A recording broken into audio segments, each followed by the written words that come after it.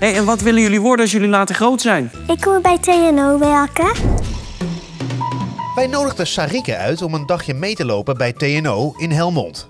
Ze ging op onderzoek uit naar zelfrijdende auto's. Dit is Max van Maximale Snelheid. We nemen een kijkje bij een rijsimulator.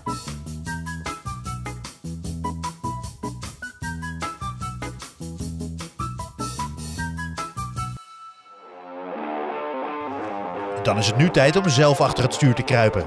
Wel veilig natuurlijk.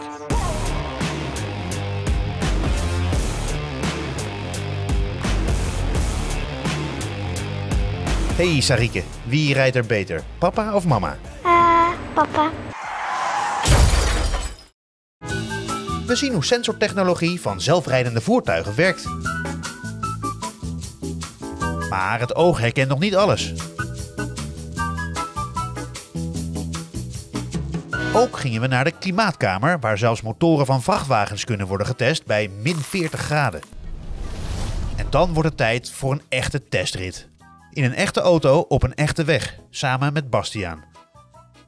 Wat zou je later graag willen doen als je een zelfrijdende auto hebt? Als je later lang het stuur los kan houden, dan zou ik wel willen lezen.